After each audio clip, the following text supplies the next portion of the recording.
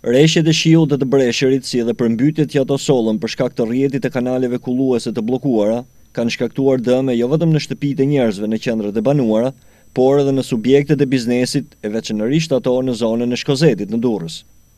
Ndërtimi i mbikalimit tek rrethrrotullimi i Shkozetit nuk ka zgjidhur aspak problemin e kahershëm të rrjetit të bllokuar të kanaleve.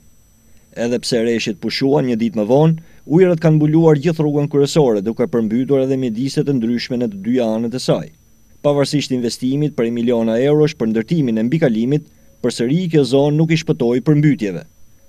Zona e Shkozetit, e cila numëron afro njëzet mijë banorë, ka edhe një numër të madh biznesesh, të cilat kontribuojnë në masë të konsiderueshme në mbushjen e arkës së Bashkisë së Durrësit.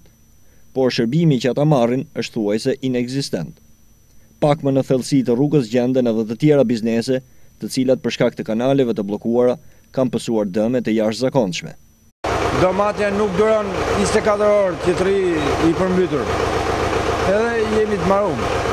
Sa arriti thellësia e ujit në këtë zonë? Thellësia ka qenë gjysmë metër mrenda serës. Në radhë parë ne kemi domaten që nuk e duron fare këtë këtë sezon që ka, këtë shi që na ka rënë. plus kastravecin, edhe rukula, që është një bimë shumë delikate, që është me çmim shtrenjt, bile për ne që flasim, por amo që kjo, kjo të përmenë me këtë defekt është se kanalet që janë rreth e rreth, janë shumë të bllokura, nuk ka njeri që i kontrollon. Si kudo, pas kësaj që ndodhi në Durrës, i cili u mbush i gjithi me ujë pas disa orë reshjesh, edhe këtu njerëzit kërkojnë ndërhyrje urgjente nga shteti në sistemimin e rrjetit kullues, në mënyrë që të mos përsëriten më të tilla përmbytje.